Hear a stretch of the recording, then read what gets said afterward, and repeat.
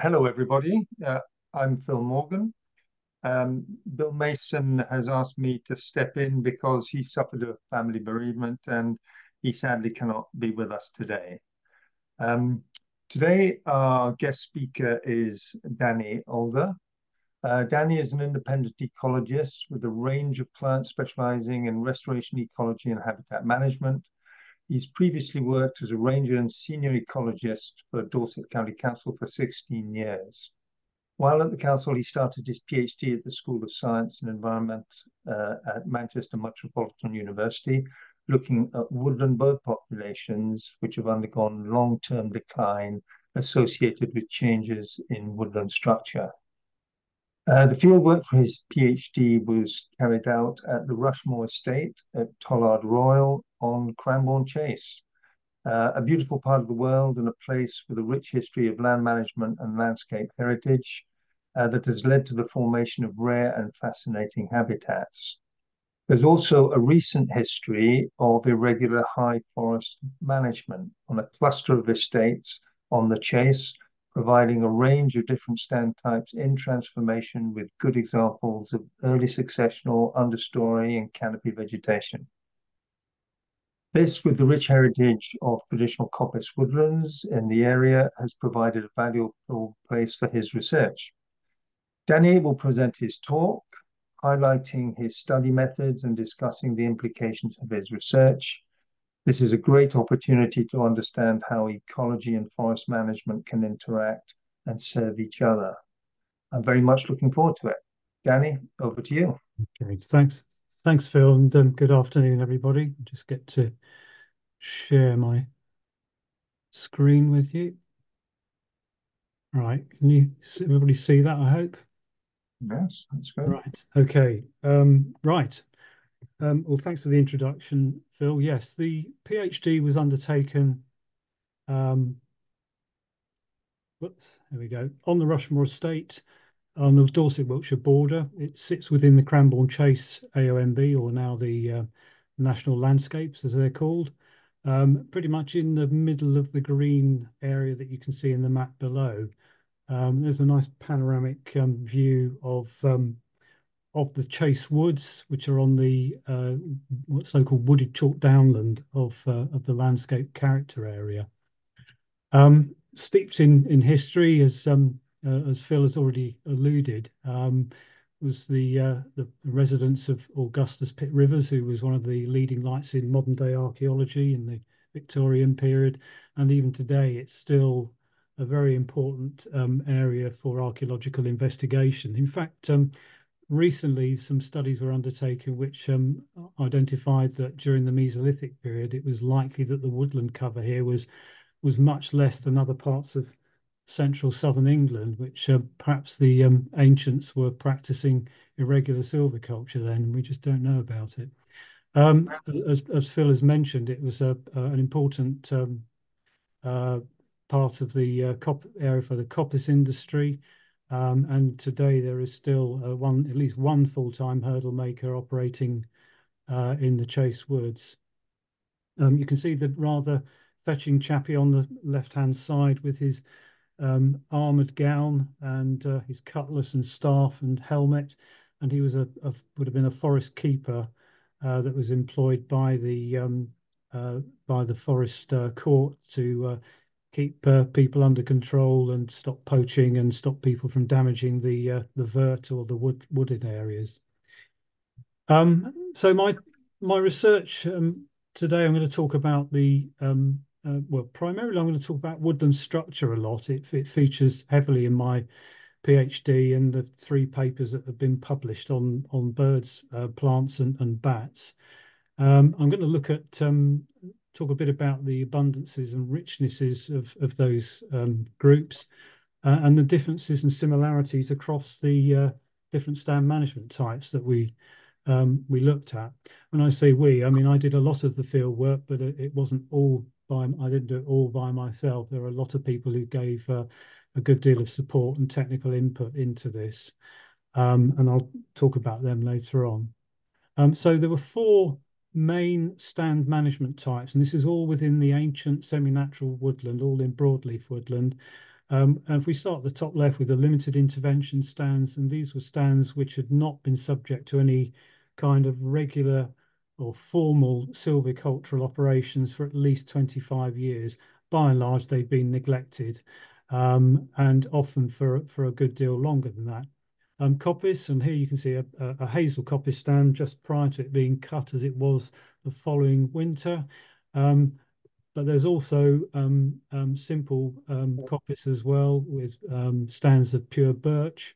Um, and then the bottom right, you can see the transitional stands, um, which are stands which are about to be transformed towards an irregular high forest, but they're in the very early stages.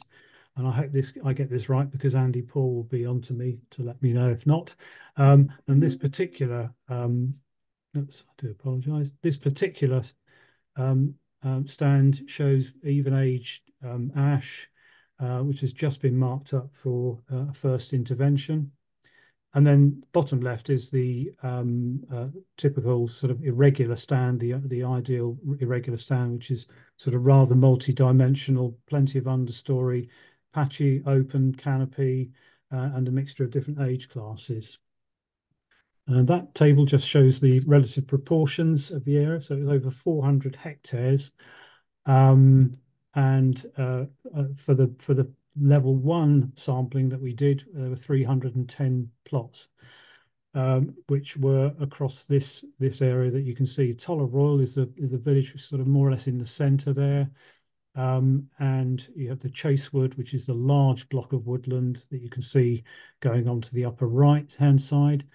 The four stand types are signified by uh, the yellow is the limited intervention stands, um, the, the blue is uh, the transitional stands, red is the irregular, and the orange um, edge stands are the are the coppice stands.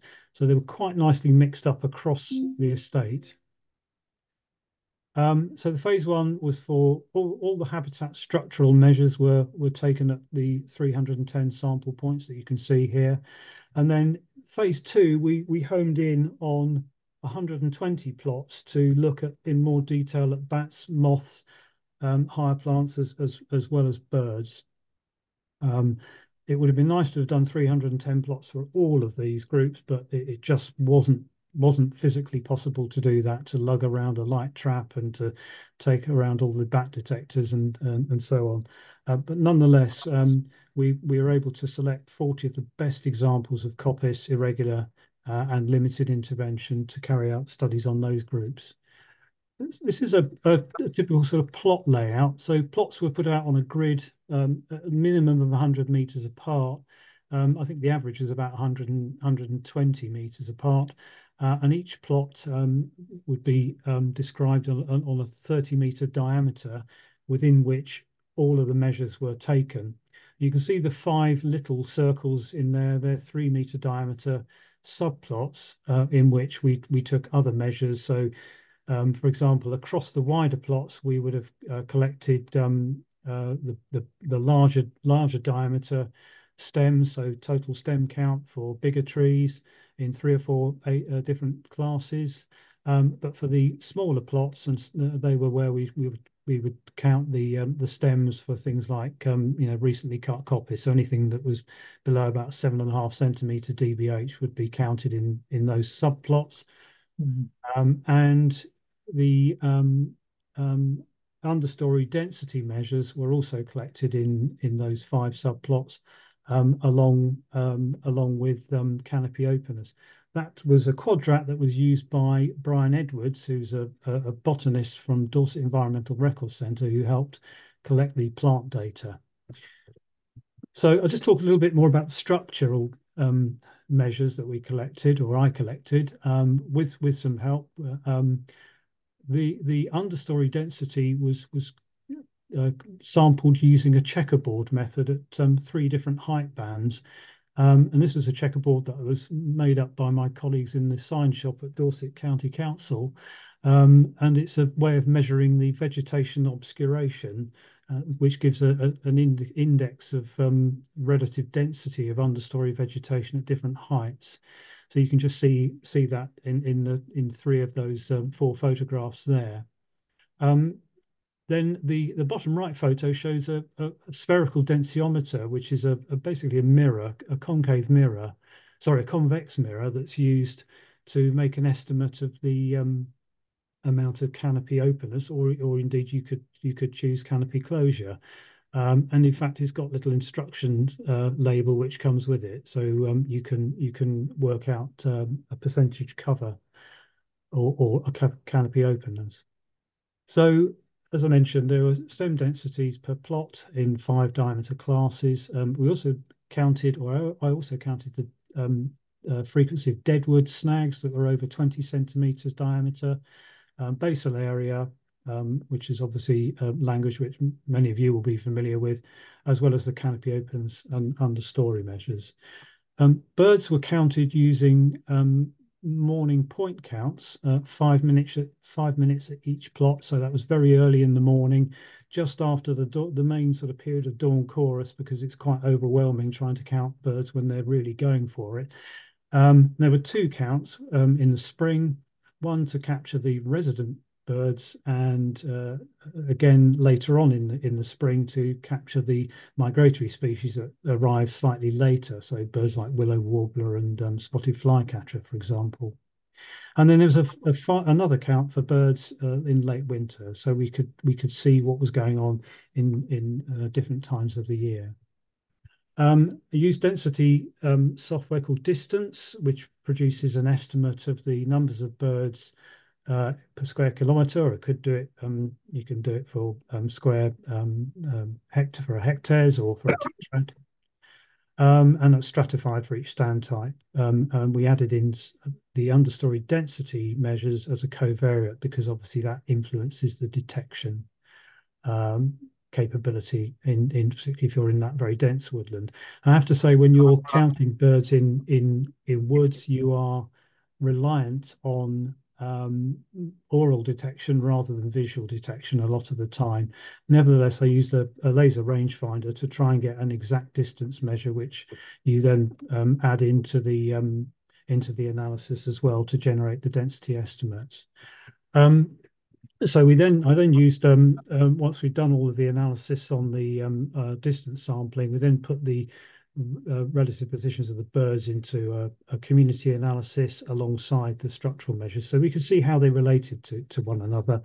And we used multiple uh, comparison tests across the four stand management types to compare the structures um, and also compare the, um, the individual species as well. Um, you might be interested in this. This is a, a, a smartphone app called Moti. It's produced by um, uh, Swiss Forest Research. Um, and that was very, very useful for uh, collecting basal area. This is the first um, um, big table, which I'm not expecting you to read all of this.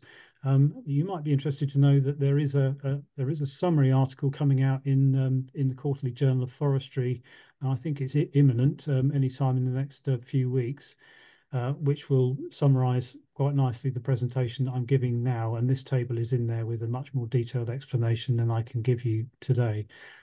But um, you can see that there were some significant differences across the four stand management types and probably not surprising to many of you really that um, the more neglected limited intervention stands had the higher basal area. Um, and transition was next and followed by irregular and coppice with very similar amounts as well. So they, these are averages. Um, I haven't put the standard deviation measures in this particular table just to make it a bit less uh, a less fussy looking. Um, irregular was was was um, was sort of um, mu much more open um, and surprisingly so than than coppice. But I think it reflects really the the sampling being done in coppice, which had you know, established itself, regrown, and was probably, you know, two or three meters high, and that effectively was closing the canopy. Um, but that's so so that's quite quite interesting. About um, 15 20% of the coppice had, had only just been cut, uh, and there were various um, stages of of, uh, of the coppice cycle represented in the um, data collection. Um, so larger trees were, you know, irregular silviculture was signified by some of the larger trees, and that accounts for mean DBH as well. Um, and interestingly, the deadwood snag count in uh, irregular was was highest as well. Um, the letters next to the numbers represent the stand against which there was a statistically significant difference. Um, just just in case you were wondering what they were for. Um, but um, understory density in irregular was was highest and significantly so um, compared to um, uh, limited and transitional stands, and um, um, and possibly that's related to the amount of bramble cover as well, which is quite high in, in, in irregular.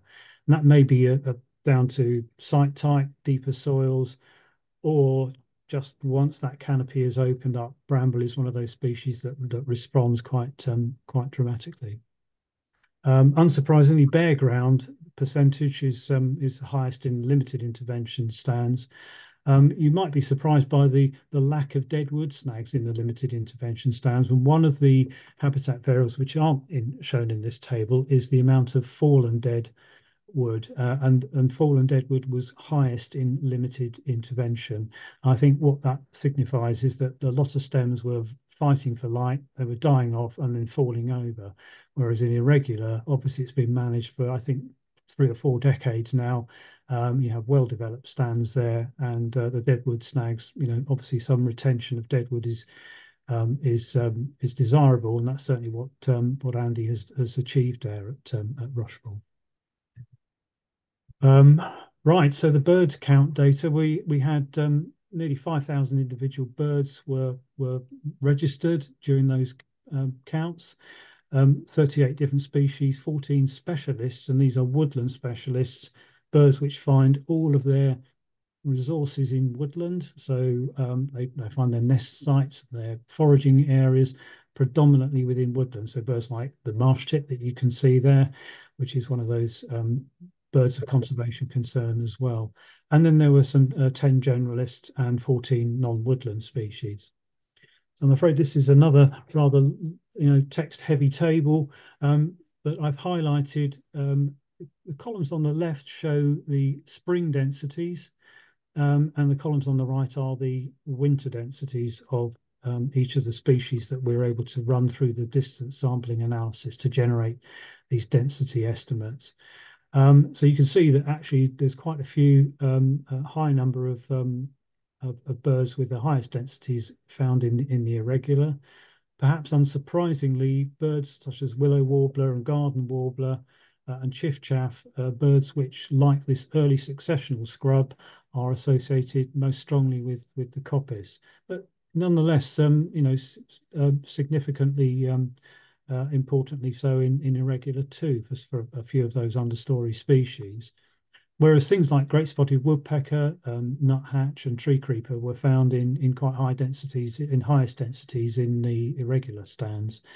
Um, perhaps unsurprisingly, um, the limited intervention stands uh, were, were not doing so well, with, only with birds like wood pigeon, uh, which is a generalist um, and um, uh, and uh, great tits, um, again, which is uh, more of a generalist species.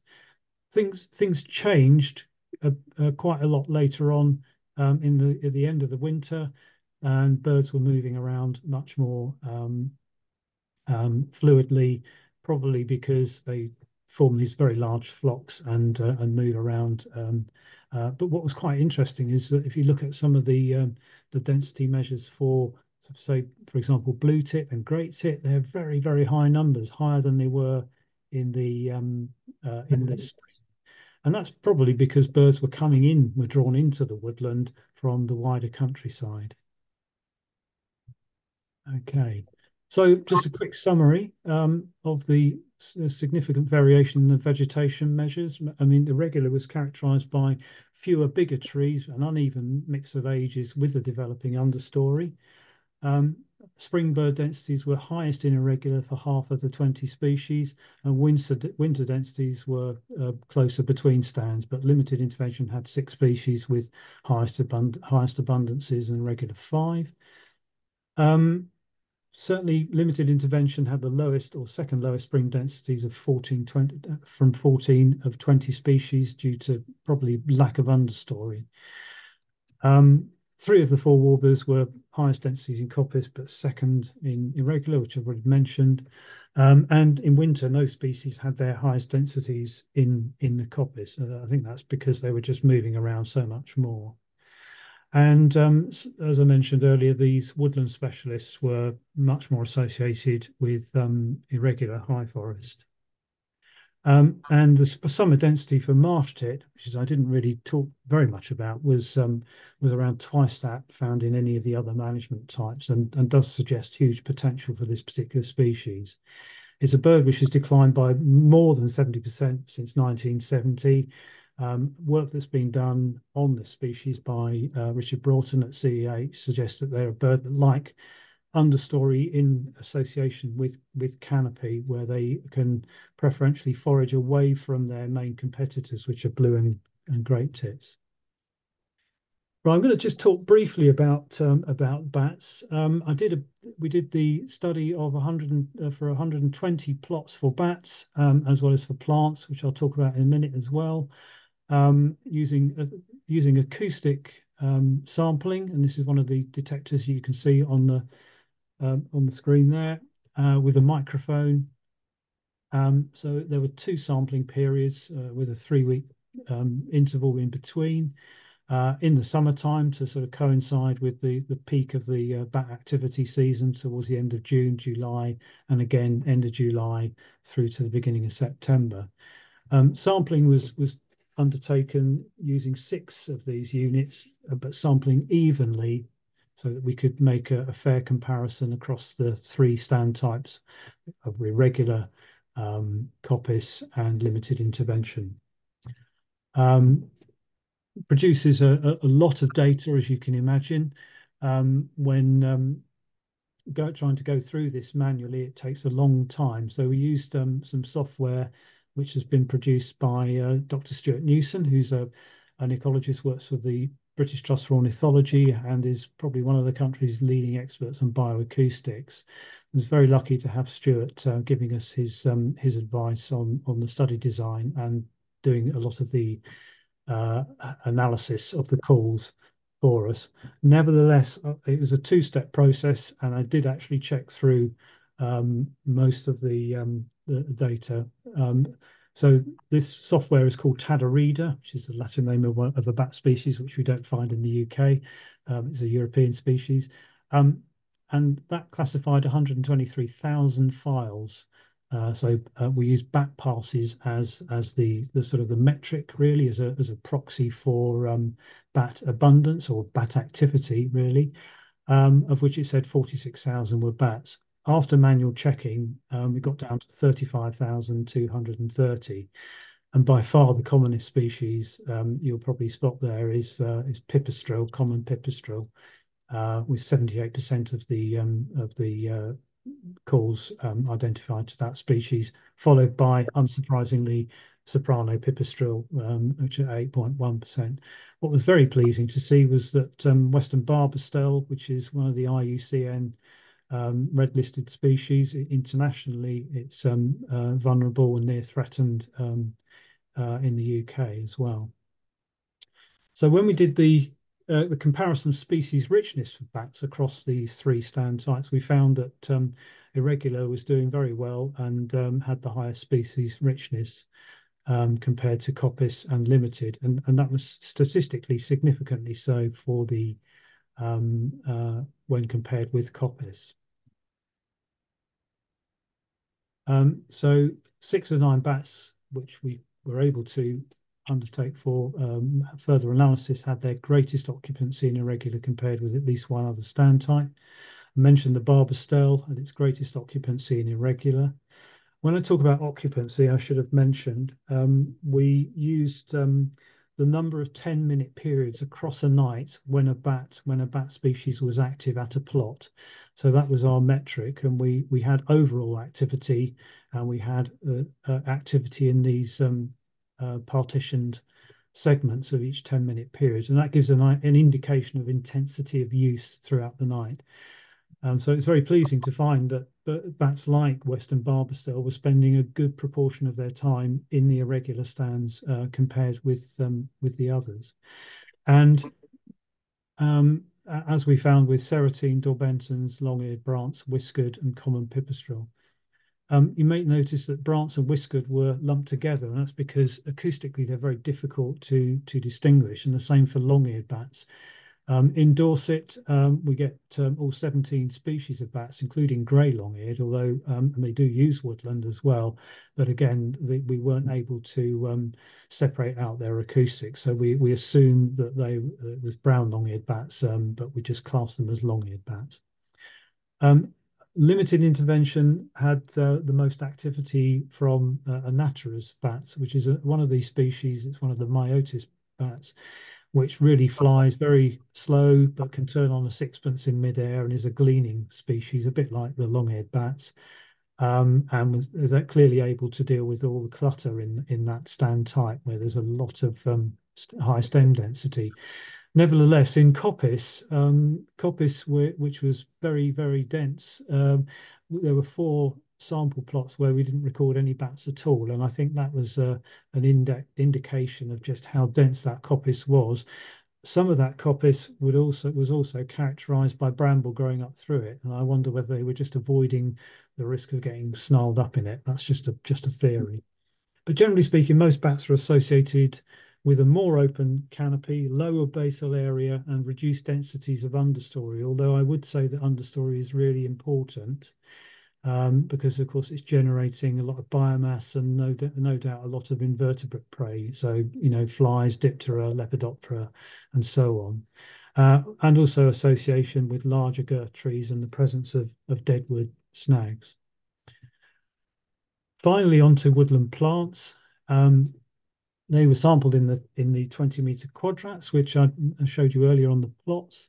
Uh, and we've decided um, from discussion with um, with uh, Brian Edwards in the Environmental Records Centre, we thought we'd choose um, Oliver Rackham's Coppice associated groups, and they're these phytosociological groups which we use to show how each uh, each group responds to certain conditions that um, he came up with. Um, so for spring plants, there are species like pignut and yellow archangel, which are um, flower early in the year and have usually set seed by midsummer summer plants, which are very shade resistant. Um, so species like wood sorrel and, and dog violet, but they but they can grow actively even under full canopy. The buried seed plants, um, remember I talked about bramble earlier, uh, and that is one of the species which is a buried mm -hmm. seed plant. Given the opportunity when that canopy opens, and you can see on the left-hand side, we've got some wood spurge uh, in the photo shown there that's responded from a, a recent um, uh, canopy opening. That's in a coppice plot but the same same thing happens in some of the irregular stands as well.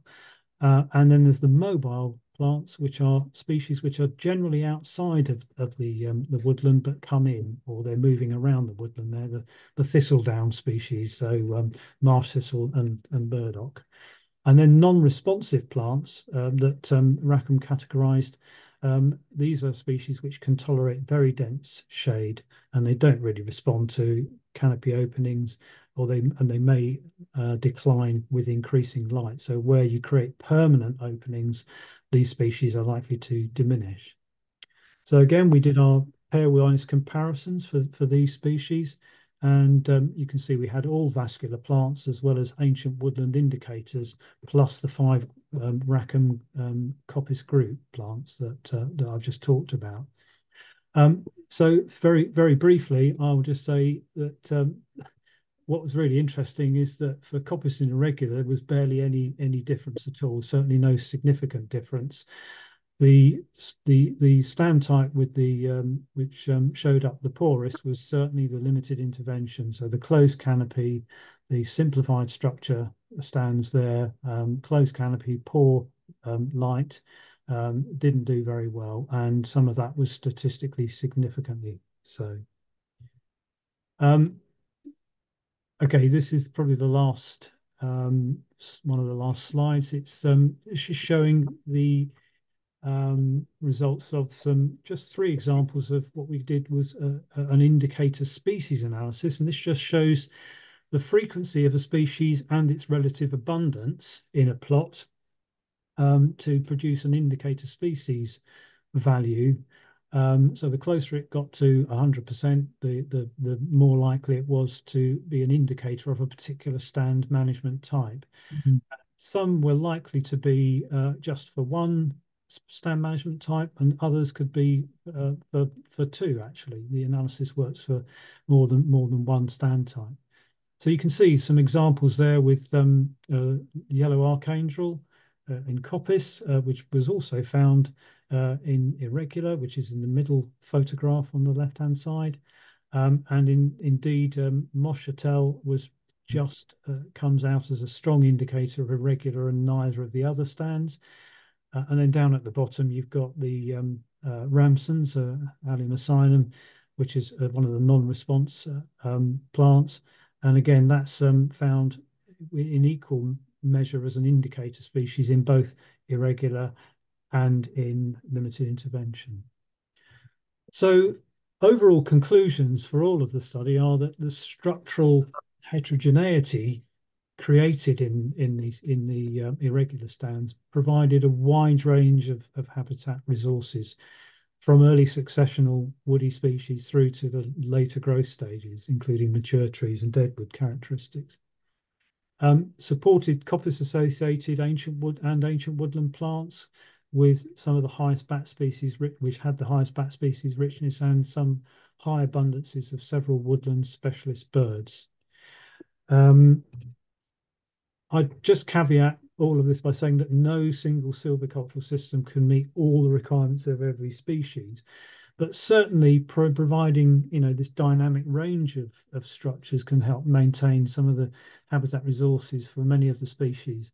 Um, and, but each site could could well have its own particular nuances and, and species of conservation interests that require targeted action.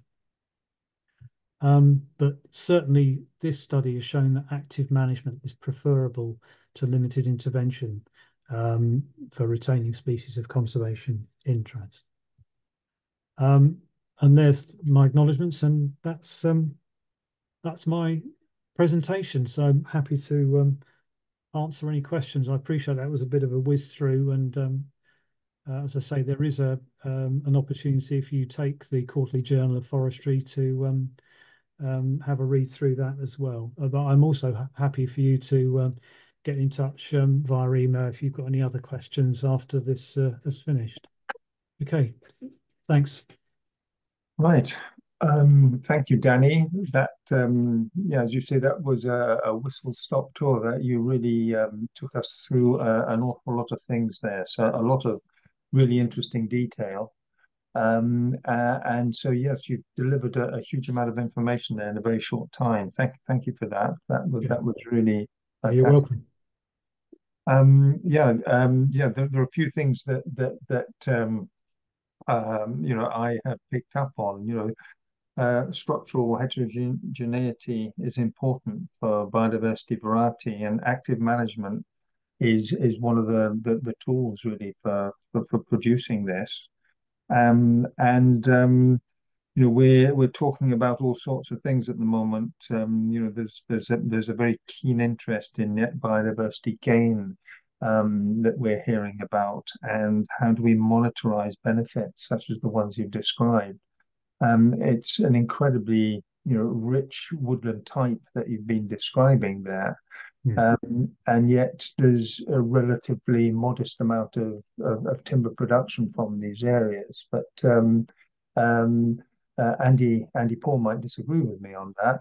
Um, but um, uh, it, it's very interesting to see what what it is that you're coming up. You've got this evidence that show that active management actually produces a lot of benefits and um, you know, another thing that I found very interesting was is that you were talking about the um, the indicator species that might be associated with the different forest types. And mm. could these be surrogates for identifying uh, a certain level of biodiversity or um, net biodiversity gain? That's a really good question, Phil. Um, it's it's actually something we in the um, I think probably the slide which I showed early on in the presentation, we are looking at um, we're including moths as well and looking at how moths as a group um, uh, correlate or looking at congruence across these different taxonomic groups. I, I can't answer the, the question specifically as much as I'd like to, but I think um, trying to find some species which certainly indicate um, conditions which um, could act as a surrogate is would be a really nice thing to, to find. I actually wonder whether we should be turning it around the other way and looking at um, uh, structural measures that could be delivered and then considering um, how much of a certain structural attribute you can you can incorporate into your forest management methodology um, and finding whether whether that has a, a, biodiversity marker against it that, that would be useful for you for you guys, particularly yes. responsible for managing these woods. I think that's something that um, would be good to good to do a bit more work on actually. And we are looking at, um, a congruence analysis now. So is it mm. going to be an indicator species or is it going to be structural attributes? You know, I certainly think that from looking at the irregular stands, it has what I call a very wide ecological bandwidth there mm. of, of, habitat characteristics. So for some of those species, they're at lower densities perhaps than they may be in coppice, but nonetheless, they're important, still providing important habitats for some of those early successional species, as yeah. well as some of the old growth characteristics. And that's uh, getting the best of both worlds. But perhaps to, for it to be more meaningful, we need to do a bit more work mm. and um, scale up the irregular silviculture. Yes, yeah, thanks for that. Um, um, yeah, I, I, I took your point there that there is no uh, management system that does everything for everything, and that you know you're always going to have the specialists, and you know this is why we need this range of forest types. Yeah. But yeah, in general, yes, we need to be doing more irregular forestry. Yeah, you know, I I, I, I agree with that. Um, I better have a look at the um, at some of the questions that have come up here, Danny. Um, so I'll just read some of these things out for you. Um, yeah. Um, have you, um, is coppice counted within the understory density? This is from Alex. Yeah, so so understory density was measured in all of the stand stand management types and then comparisons made across. So yes, it was. Um, it was it was greatest in. Uh, uh, so I, I, mentioned there were there were two height bands that we measured. In fact, there were three Mm-hmm. Uh, one of those, I didn't go into much detail because I had to get through a lot, but um, so my apologies for that if I skimped over it. But um, uh, understory density in coppice was highest at two meters, um, uh, followed by um, uh, in irregular. So that that's a sort of a signifier of the of the the stage at which that coppice was was at. There was more in the coppice at two meter height understory density. Um, than, than there was in any other stand management type. And limited intervention was was there was just no understory at all really. Hmm. Right. Okay. Yeah. Interesting. Yeah. Um, so another question here. This is from Ian Hanna. Um, while the formal research took place in ancient woodland, would you extrapolate any of the findings to PAWS or other woodland types? Was it really all ancient woodland? Yeah, including we, we focus we focus primarily on the semi-natural stands, mm, most yeah. of which is actually triple SI as well. Yeah, sure. Um, so so Andy's got um, you know got the juggling act with trying to generate some some mm. revenue from it as well as meeting with the you know the favourable condition status for natural England as well, and um, and so far seems to be doing a pretty good job of that. Um, whether we could extrapolate it to other um, management types. I think I'd be very careful about saying that. But what I will say is that um, I've been involved with um, butterfly conservation through Patrick Cook um, at um, Stourhead Western Estate, which is again within the Cranborne Chase National Landscape, uh, which is predominantly conifer, um, so Douglas fir and um, Sitka and um, Norway spruce, which of course David Pengelly and Nick Hoare work mm. together on. Yeah. Um, and we've got some very promising results there. We've actually, um, Patrick has actually um, published a paper which I was involved with on bats, and and that's available in Forest Ecology and Management. And I think at some point it'd be good to get Patrick to come and give you a talk about those mm. results. He's also um, through just working his way through a, another paper on moths in irregular silviculture in that those conifer blocks. So um, it looks promising, um, but I think it's a it's a, you know each woodland has its own unique ecological signature and historical signature, as I'm sure most of you are very familiar with. Mm -hmm. uh, so that sort of nuance you have to be careful about extrapolating too much.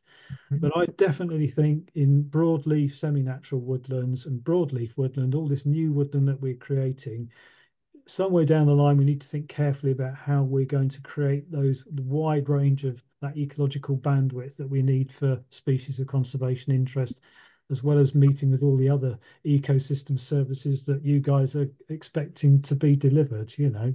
Yes, that's right. You know, you're absolutely right. You don't just stick trees in the ground and stand back. You know, you need to wait a little while for them to, to establish, but you then need to think about how you're going to actually change that structure, how you're going to break that even age mold and move into something else. Absolutely, yes. Yeah, yeah, yeah, yeah. Okay, and also thank thanks for that recommendation for from Pat about Patrick. Yeah, we must we must follow that up yeah. uh, and see if he can, uh, um, you know, be one of our guest speakers. Yeah, excellent. Yeah, yeah I have warned him. okay, th yeah, thanks, Danny. Um, right, um, what else do I have here? Did you observe any difference in implied bird territory size? Could plots with less intervention, offering maybe a richer habitat, support a greater density of territories for individual bird species? Right, okay. If we were going to have done territory mapping, then we would have been able to to to do that. If we, but that's a different sort of methodology because this is plot-based sampling and timed point counts.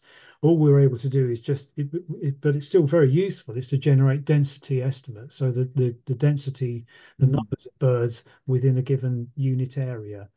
Um, and certainly for some of those species, like the marsh tit, I mean, there are 122 birds per square kilometre within a kilometre of square kilometre of irregular high forest and that's a lot, you know, and that's that's up there when if you look at the um, the last breeding bird atlas for the UK and Ireland, um, that's at the at the upper level of that for that species, you know. So that's that that's um you know that's really really quite quite useful. So I take the point. Yes, you could look at um, um sort of area density measures, but we kind of done that through the plot-based system. But territory mapping is another very useful way of, of um, looking at that as well. Yeah, yeah, different tool, but uh, yeah, but you've come up with a very interesting result. Yeah. Um, yeah, this is maybe a bit of a nerdy question. Question, what program did you use to establish bird densities from distance sampling? Was it welcome distancesampling.org? Uh, no, it's actually called distance. Right, and you, you mentioned that, yeah. Yeah, it's actually called distance. Um, yeah, it's a few yes. years ago since I've I've used it, but um, yeah, um, it's I think it's a free download actually, and All I'm right. trying to. I think it might be from St Andrews University. So you know, if you use a um, search engine like Google, um, I'm sure you'd be able to find it. And it was it was hmm. freebie, you know. It, it was very good actually. I hasten to add, it was very good. There were as long as you input the data, which has to go in as a CSV file. Um, you know, and there's you, you, you, with anything like this with new, new software, that, or certainly to me anyway, uh, probably uh, because of my level of incompetence, um, uh, it, you you get it wrong, you get it wrong, and then eventually you get it right. You know, so you have to try these things a few times before. Yes. Great. Okay. Thanks for that. Um, and so, yeah, Ian is also asking what in, uh, what intervals were the coppice areas cut, and was the coppice cut with hand tools, chainsaw, or mechanized? Um, was that part of the study? No, not really. No, no. Not I think um, I think it depends on the. Um, I can I can answer some of that because mm there were there are two main hurdle. Well, there's there's there's Don who was the hurdle maker, and then there is the um, and then there's another guy called Andy Taylor who does a lot of the work on the birch. And I think the birch he actually coppices because it's only on a very short rotation using a, a, um, a high powered brush cutter. Mm. Um, and for anything that's bigger, it will be done with a chainsaw, um, possibly for the, some of the hazel with a with a bill hook. Mm-hmm. Um, if it's on if it's on the smaller diameter size, but um, anything which is um, on the larger size is going to be, um, you know, changed. Yeah, yeah, yeah, yeah. Okay. Um, right. Yeah. Was there any investigation of the seed bank? Because you did mention bramble being one of these longleaf seeds across the different plots. And would there be any reason to expect any difference in the dormant seed bank available to be triggered by chance light availability, for example? Mm. Yeah, I mean, we didn't we didn't actually go rummaging around looking looking at for seeds per se. Yeah. Um, but um, I, I I think that where ground is more disturbed, and that's one of the I think if you're using bigger machinery, you are probably more likely to get a response from some of these buried speed seed species. Um, I didn't mention it, but what we did find was that um, in in the irregular plots, we were finding things like um, uh, Galium aparine, which um, uh, you know, sticky weed uh, or cleavers. Um, that was was more commonly associated with the irregular stand type. So I think that these species may well be in within the, the seed bank already, just because yeah. of the configuration of the uh, of the land. You know, it's a it's a um, it's within a farmland setting, although these are big big blocks of woodland. And it was one of the advantages of doing this study is that we could make these comparisons. There are very few areas of woodland in this part of the world where we had that sort of scale of, of woods. So I suspect that if you disturb the soil um, in any of the other um, stand types, you would have got a similar response. Um, but it's it's just something that we we highlighted there. But it, it wasn't necessarily negatively or competitively affecting any of the other ancient woodland plants in regular. I hasten to add. Okay. Yeah. Okay. Thanks for that. That's very interesting. Yeah. Um, yes. Uh, what is the estimated age of the limited stand? Yeah, and how would you rate its structure relative to a healthy old growth ecosystem? Um, sorry, what was the last bit of that question? Yeah, that's right. How would you rate its structure relative to a healthy old growth? Oh, I see. Yeah. Okay. Well, I have some experience of of looking at old growth woodlands in Hungary actually, and I went there years ago on a on a Churchill travel fellowship, yeah. um, and um, it's uh, it's quite different really, because you know I and I know that um, from studies that have been done in the UK and Lady Park Wood by George Peterkin uh, and others, uh, that you know it's it's still quite a homogenized structure, and it's only where you get big tree fall gaps as a result of you know storms or lightning strikes, that kind of thing, that you start to see some of this restructuring take place. I think the limited intervention stands here are the result of a cessation of management at the earlier part of the 20th century up to probably 1960s. Um, some of it would have been worked, but very light touch, maybe a bit of firewood, um, perhaps up to sort of 30 years ago. And thereafter, not, not a lot has happened since. So you've got a lot of even age stuff all vie, vying for the light and then falling apart, some of it yes. die, dying off, you know. So mm. it's, hmm. quite, it's quite different from some of those really old growth, and it certainly mm. doesn't bear any resemblance to sort of hmm. pasture mm. woodland at all, really. You know, so hmm. um, it's got some way to go before it restructures naturally on, on, on its own. No, I, I, I would agree with that. I think we don't have these examples, um, or we don't have very many of these examples in this country. And uh, you're quite right. You know, you need to go elsewhere to see what this actually looks like. You know, mm. something that's been you know, evolving over several hundred years.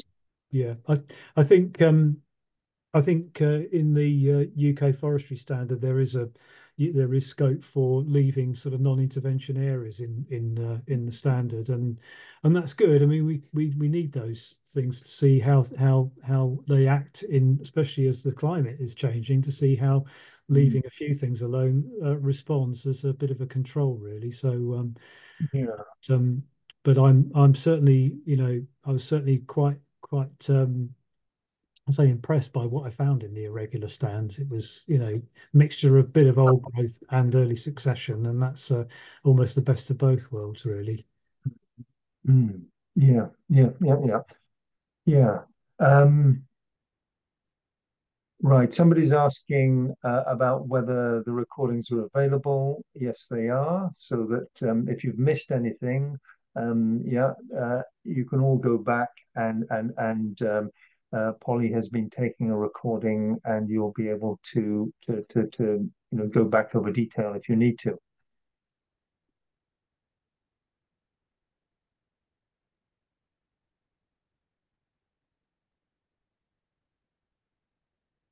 Right. Comment. For those of us involved with woodland creation, BNG is a concept very important to support, e.g. FC's operations note 43 and LSE uh, likely significant effect on the EIA forestry opinion, but as yet there is no accepted metric to evaluate this. Do not confuse with NE's BNG metric, that is about town and country planning at land concession conversion. Mm. Um, yeah, well, that's that's not my area of expertise. I know more about planning than um, yeah than than than uh, forestry because that's what I, I worked in when I worked in local government. But um, it's not the reason we undertook this study. Put it that way was to make a comparison. Mm. But obviously, um, under the Wildlife and Countryside Act, because it's a triple SI wood, obviously Andy is under certain you know management obligations to to maintain the um, the features for which the site is designated. And I think we've pretty much managed to demonstrate that we've we've we're able to do that using this irregular mm. methodology. But um, yeah, that's a bit, what, sort of out of the scope of of what my talk yeah. about, really. Sure, sure, sure, yeah, yeah. And Matthew Matthew says in other comments, my understanding of what uh, is that the Woodland Wildlife Toolkit, the Silver Woodland Condition Assessment, uh, and associated app will be used to identify biodiversity values of woodlands. Uh, for BNG and uh, incentives, the markers and triggers within this assessment, while simple, seem to align with Danny's findings around the irregular, which is comforting. Great resource. Okay. Oh, that's good. Well, that's good. Thank you, Matthew. That's yes. good. it's great. Uh, yeah. So, uh, yeah, how are we're doing for time? Yeah, we've got a few more minutes. Um, yeah. Um, Andy Davis asks, have you looked at importance of patch size within these blocks? It would be useful to know for forest management how much irregular management would be needed in a landscape to benefit wider biodiversity.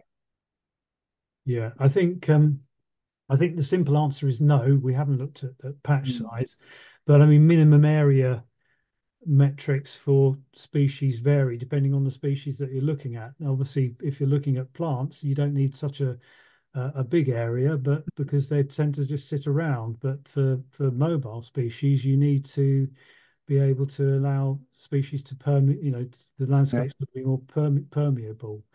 Um, and as I say, we we didn't look really at that level. We this was really about looking at the stand level characteristics because we wanted it to be useful for foresters.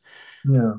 Um, I think I think as I mentioned in at the end of the presentation, you know, there's no single stand management type which will provide all of the resources for all of the species. And when you pull away from a um, uh, the further out you go on a map, and you see different types of, of silviculture management at, at, a landscape scale, uh, things become more interesting because you're then providing conditions for a wider range of species. It's it's how that landscape is configured, which is why there's a lot of work going on about um, landscape recovery at the moment and and joining things up. Very much going back to the Lawton review back in 2010 about bigger, better, more joined up, uh, functioning land landscapes. Um, I so I, I don't really have an answer to sort of pat, minimum patch area, but I do think we need we need more woodland, um, perhaps thirty percent. I don't know. I, have heard that figure. I went to a talk yeah. Um, okay. by Gabriel Hemery um, in Shaftesbury just before Christmas, and he talks about about yeah. that, and other people who were foresters mentioned yeah. that sort of figure, which aligns with a lot of the you know what we're talking about for biodiversity conservation. So um, it'd be interesting to know what people think about that. Really. Yeah, well, that's right. It's interesting, you know, to set that that percentage increase in woodland cover against uh, the ten percent that Welsh government have been asking farmers to to find on their farms. Yeah. It, yeah, it'd be interesting to see, you know, where where where that that how that works out. Um, yeah, Ian again asks, uh, within the irregular intervention plots, was the soil disturbance that triggered seed germination attributable to mechanized felling and extraction? Uh, were any of those plots extracted by horse, and would that give any insight to whether compaction might be less with some with the same benefits of soil disturbance? Yeah, um, I don't think Andy has used um, horses in Rushmore. I don't know. I you might know no, Phil better, than, better than me. I think it's probably yeah. all done. I mean, I know that care is taken with extraction racks, um, putting brushwood down to try and minimise that. Mm. Um, but um, I think um, it's it's inevitable when you're driving a forwarder through a forest there will be a certain amount of mm-hmm. disturbance mm-hmm. but you minimize that by by by the design so it wasn't a it wasn't a major issue and it wasn't a. it certainly wasn't signifying any com- comp- competition there for the ancient woodland plants they were just as prevalent in the irregular plot irregular plots uh, as, they were in the coppice, which is obviously managed in a in a lighter lighter touch. Yeah. Um, I think had there been, uh, we may well have, have you know found something a bit a bit different. It was just uh, one or two species which were found in the irregular plots that were more common there than in any of the other stand management types, and that possibly is because a tractor went through at a certain time Mm. That's all I can say about that, really, because I wasn't there for the felling operations. I'm afraid. Yeah, well, you know, I, I know that Andy's very, very careful about that, about how he designs his his extraction routes and these sort of things, and uh, and particularly in the type of woodland in, in in ancient woodland types, it's really quite difficult to find permanent racks. Yeah. So he goes to the trouble of marking these in, you know, mm. he has color coding so that you know a blue a blue mark is indicating a permanent rack.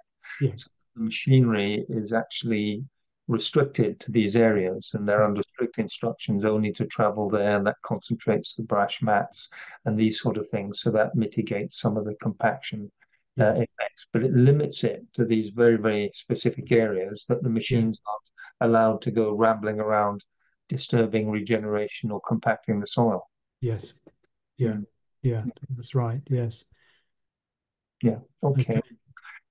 Good, good. Well, so we've had some very good questions. Um, um, ah, there's another one popping in here. Yeah, we're nearly finished now, so maybe um, uh, this might be our last question.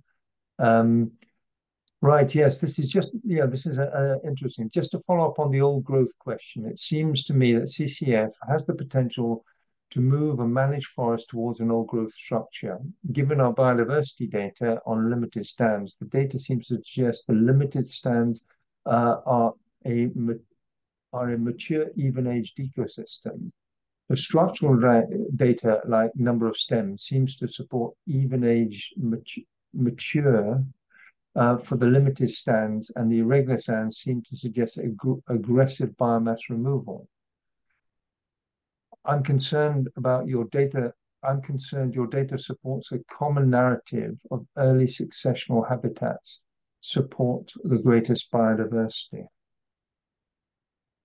Um, I don't think that's true, actually. No, I wouldn't agree with that. But um, I think what it what it supports, certainly from the um, woodland birds in in the UK, and particularly most of the of the yeah. species of conservation concern, not all of them, are the early successional species, and that's because we, you know, historically have a tradition of coppicing in this particular study area.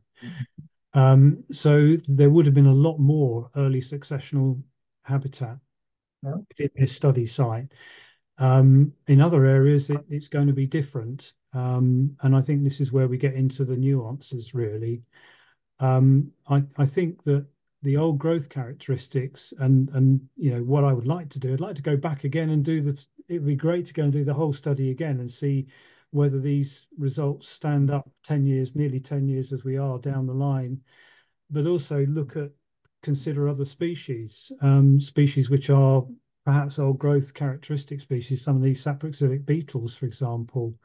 Mm. Um, it would be quite interesting to do studies on that, and indeed fungi as well. I mean, that's a very much in vogue at the moment, um, mycorrhiza, and, and you know all of the um, plants that we know live in woodlands have a, a endophytic, you know, mutual relationship with um, with mycorrhiza. So uh, I take the point, but um, I, th- I don't, you know, we weren't trying to look just for the um, results affecting um, uh, early successional species. I think that old growth species are, are important too, and particularly the bats as well. And bats like barbastelle require, you know, densities of, um, you know, snags, um, lifting bark. So where you've retained those old growth characteristics, I think that's, um, you know, I think that's really, um, really important that that, that yeah. that's recognised in in uh, stand management. Yeah, sure. And, and I think, well, you know, this is this goes to the core of Pro Silva forestry, really, that they want, you know, Pro Silva aims to integrate all these different um, stand, you know, within within an irregular stand, you have all sorts of different aspects there, early successional, uh, you have all the understory, and but also you have, you know, retaining standing deadwood with snags, and it's that continuity that, that provides the benefit that, the the you know that, provides the opportunities for the fungal complexities and the insects to yeah. develop. But you know there needs to be clear objective management that you know that, that you retain these things. So you retain the, old, the, old, growth characteristics or you retain um, the, the standing deadwood of, of, of large sized trees Yes. Um, and and um, so you can incorporate all these things, but it's a matter of choice, and it's something that you have to manage for. Absolutely, yeah. I, I couldn't I couldn't agree more, and that's down to each forest manager and, their decisions based on the particular site type that they they they they have under their control. Mm. Um, so so yeah. Right. Okay. Okay, Danny. Well, I think um, yes, we've just we're just over the the hour now. Okay. Um, so um, uh, Polly has um, said that we can go by a few minutes, but I think you know we could go on and on because it's been a really fascinating uh, hour, and, and um, I'm very grateful for you know for your presentation. There's an awful lot of information there. People were asking, um, can they go back to it? Yes, I reassure everyone that you know this is something that's going to be online, and if people want to go over some of the detail, because there's a lot of information that you you rattled through there, that was very very good. Um, there's all that detail there that we can all go back to and and and and look at that look at it more carefully. Yeah, so absolutely. Thank you very very much. Okay, you're welcome. Thanks very much, and thanks everybody for listening in. Great. Cheers. Okay, thanks. Thank you. Goodbye.